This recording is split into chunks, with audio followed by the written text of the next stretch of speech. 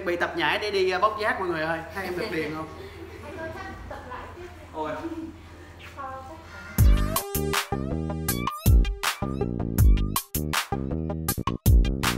Nhìn bả như con khỉ vậy đó.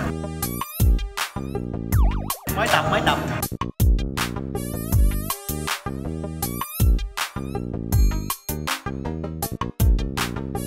Chú ơi cho hỏi chú ơi chú chú đang tập dưỡng sinh hả chú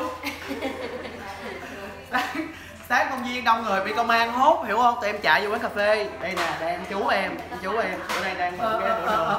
Chú ho ho chú ho ho ho. Đó chú em ho quá hiểu không? Quý vị. Hôm nay thì uh, mình với Chicano sẽ đóng chung một cái vai rất đặc biệt. Một cái vai mà không thể tiết lộ các bạn trước được Nhưng mà hứa hẹn nó sẽ rất là vui. Ờ, Thông qua cuộc nói chuyện này chúng ta có thấy là cuộc sống của Chicano cũng không như chúng ta tưởng tượng. Rất là khổ cực. Rất khổ cực. Rất phải đi quay từng ngày phải đi quay rất là nhức đầu mọi người ơi ví dụ hôm nay gặp đất ở đây nè trời nhức đầu kinh khủng. Rồi. Thì giống như mọi người đó Chicano thì mấy cái món đồ mà trên khoảng 5 6 tỷ thì Chicano phải nghĩ đâu phải đi mấy tiền đâu dưới 4 tỷ mua ngay. Nhưng trên 4 năm tỷ là chị mua chị không nhìn giá Không em. giá luôn, không phải trên nhìn. 5 tỷ thì chị mới suy nghĩ nhẹ Đúng rồi, thôi. chị là người biết tính toán. Đâu phải là ai cũng ý là tiền các bạn Chicano cũng phải là người cái đoạn này em tôi giống Ngọc Trinh vậy. Ngọc Trinh là mua đồ dưới 1 tỷ là không cần nhìn giá đâu mọi người trên 1 tỷ thì mới mới suy nghĩ nhẹ. Em nghĩ Ngọc Trinh là người biết tiêu tiền đấy cái gì cũng đắt quá thì thôi. Cho dưới 1 tỷ đâu đắt lắm đâu Ngọc Trinh ừ. Vâng, đúng không? Cho nên người ta không quan trọng lắm Ừ. thử nha. Hai ba ok nha nha. Anh anh, anh, anh cầm lên này. Đấy anh hiểu chưa anh hiểu chưa Ok. thua nghĩa là nó không đúng như lịch không như này. Trời. Ok. Bây giờ. Đang quay rồi anh.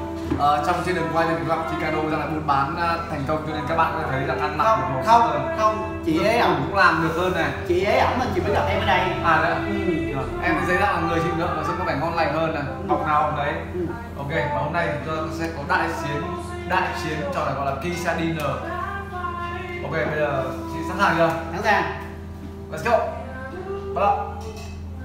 Ok chúng ta nhanh dần lên. Ok.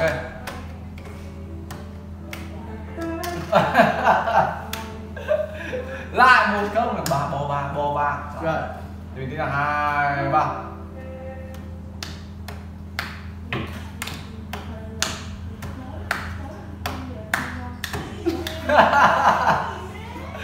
Nhưng mà chị phải nhớ là chị cũng được cầm lên. Chứ chị đừng cứ thế này mãi. À phải cầm. Cầm lên, à, chị, chị được cầm lên luôn hả? Đúng, chị à, rồi lên. ok. Hai hai ba